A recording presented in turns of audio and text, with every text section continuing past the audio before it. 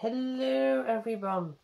Today we're going to take a look at this clock, which is a 400 day clock, a year clock, or more technically called a torsion spring pendulum clock. These clocks, very popular, 60s, 70s, like most of the clocks that come in with me for repair are from the 70s. Torsion spring pendulum clocks have been around for way longer than that, but they had like they were very popular. Um, 60s, 70s, mostly 70s. They're really nice clocks, very mesmerizing to look at. They were pretty affordable too. They run for 400 days, that's why they were also called year clocks. People used to wind those on New Year's Eve which was basically a thing like, yeah, to remind them. Because otherwise, a clock that you need to wind once a year, what better day to remember than New Year Eve? Um, another thing about this clock is we call them year clocks, but they do run for 400 days.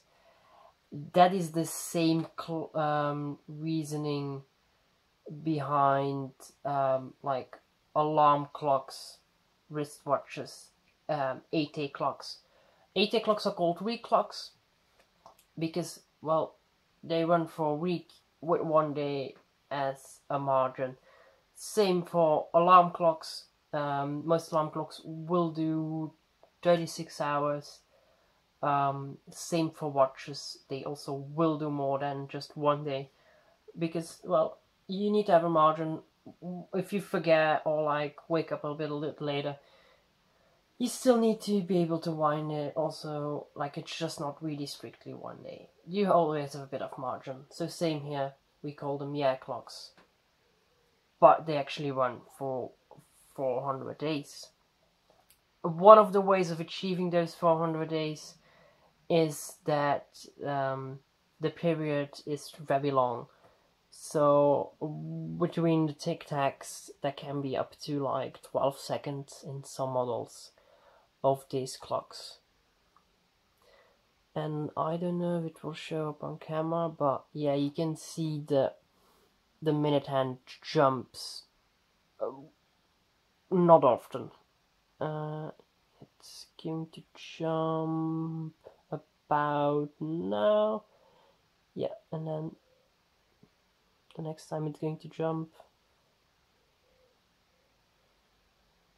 is now. So you see there's a lot of there's a lot of time in between the so that's the period um, and yeah that's one of the ways they make them run for so long. There is a rather large mainspring in it for a clock like this, but the main reason um, is that um, yeah just just a very long period. So, these clocks um, use a torsion spring pendulum, and a torsion spring pendulum is very fragile. That is why those clocks will have a lock to block the pendulum while moving them.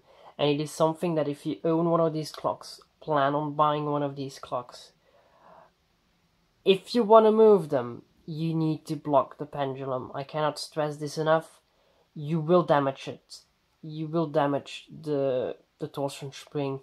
And the thing with damaging the torsion spring is it might look fine, but once it's damaged, you will never be able to get this clock running correctly.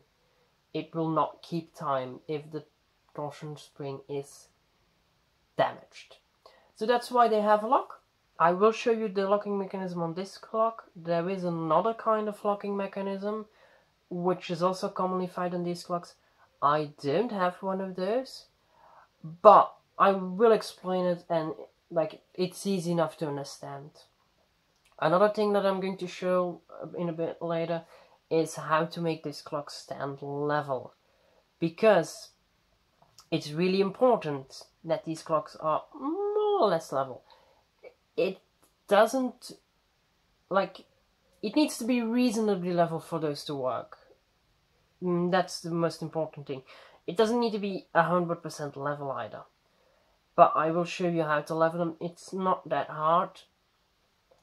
Um, then I will show you the torsion pendulum, but um, I will remove the cover because there's a protective cover too. But for now, let's just um, set the cam up so you can have a look in the side of the movement.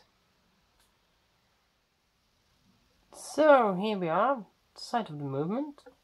You can see here main spring barrel. You can see part of the gear train, and not really important. It's just the gear train. Um, but no, the business is here. You can see here you have the escapement here.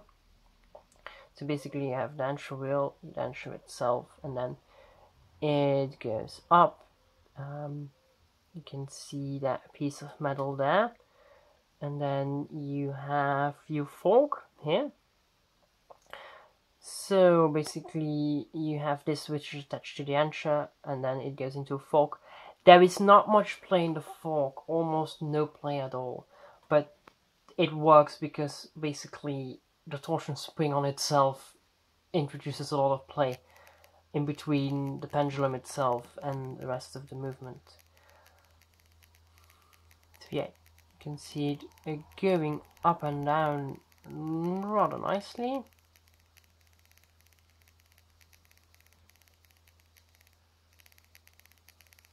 Let's move it a little bit.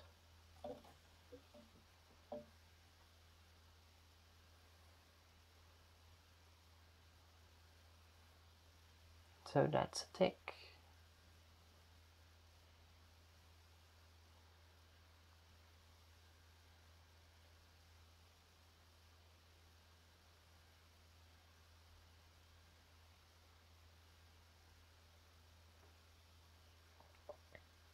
So basically this um, this fork is just um, attached to a little um, brass block that's clamped into the torsion spring and then the torsion spring is just attached to the pendulum balls on the underside and well just creates torsion. That's all it does.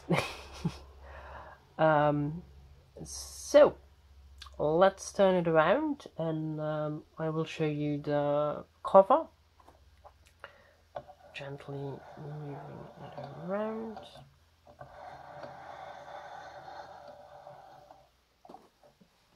so here you can see the top of the pendulum and then you can see the really fine um, torsion spring in its cover I will remove the cover in a bit but just to give you an idea how it looks like now. So here we have it.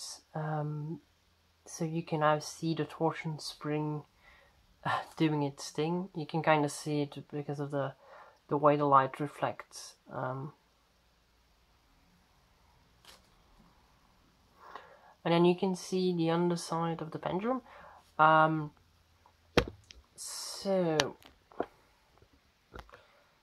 here this ring is basically how to regulate this clock there's a plus and a minus on there somewhere oh no in here there's a plus and a minus on the brackets. You can see here there's little arrows.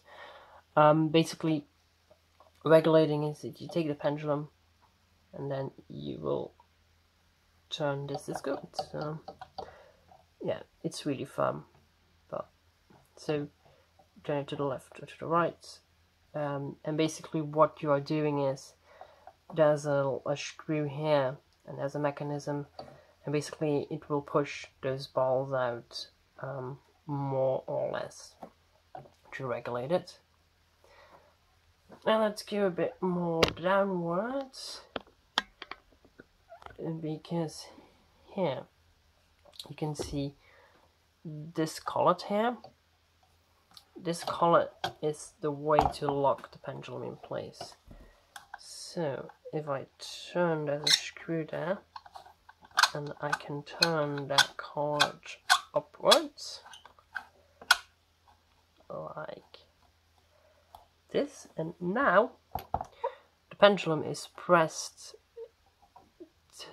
till uh, against this bracket. And the pendulum is now well firm enough in place and you can see even the torsion spring is now basically loose. There's, there's no pressure on it at all. This collet is also um, the way to, like it's basically a point to look at in order to um, make it level. So you can see now it is not level at all. So let me turn it around because it's always best to start from the front.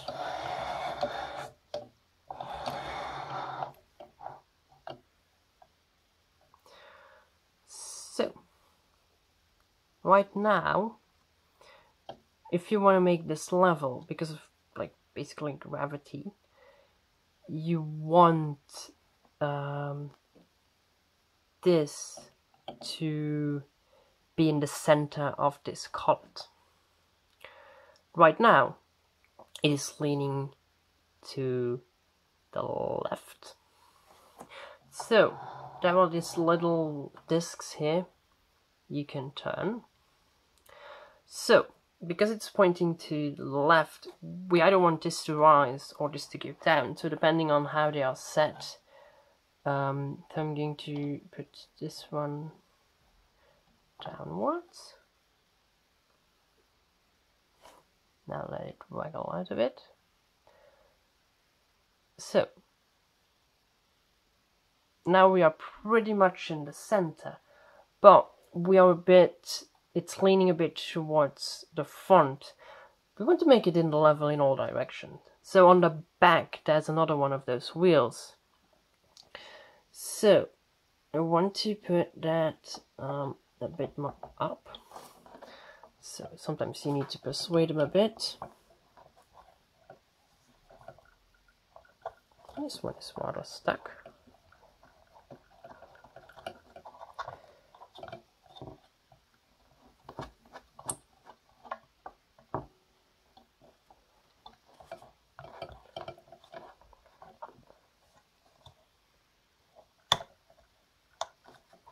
So this one is in all the way.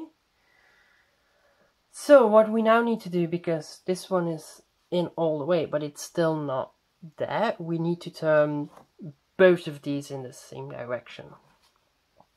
To because if we if we change one of them, we're going to change this direction, but now we have to turn them both out.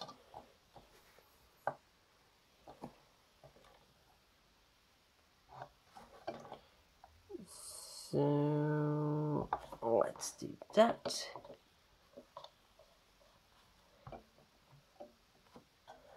Let's turn this one out.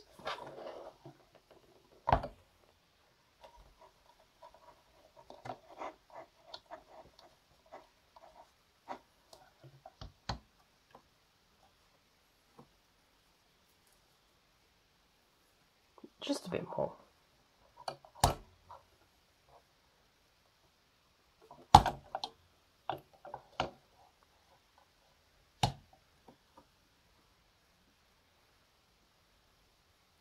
And now it is pretty much level, but I'm pretty sure we stopped the clock, so you can, just a little swing, nothing too much. Because if you do it too much, you can end up um, over torsioning the torsion spring, which also damages it, so yeah, that is not good. Now, one more thing I want to show you, and that is the other way of locking the pendulum in place for moving it. And that is the other way of moving it. Is a mechanism that is here at the bracket. And like if you see a lever here or on this side doesn't really matter. It's worth to say you need to lift up the pendulum. And then you engage the lever and there's basically a collet that goes around a ring in the on the pendulum and that locks it into place. So yeah, that was all the explanation I wanted to do about it. really fascinating clocks by the fact that like they don't move a lot. Um, like the gear train doesn't make a lot of movement over this uh, 400 day period because, like I said, because of the um, the period of like 10 to 12 seconds. Um, they don't really wear out that much. The movements don't wear out super much, so they are very reliable clocks. Pendulums, um, the torsion springs, they do often need replacement, but that's more because of people mistreated them. Um, they tend not really to wear out. They can wear, wear out. They used to be made of um, Elinvar metal, so Invar, but um, sounds like Invar, but it's not. It's Elinvar. Um, I can't remember what um, because it's an alloy. What's in that alloy? However, I will put it um, on the screen. Um, and yeah, that was it for this clock. So, thanks for watching, and I'll hope to see you in the next video. Bye bye.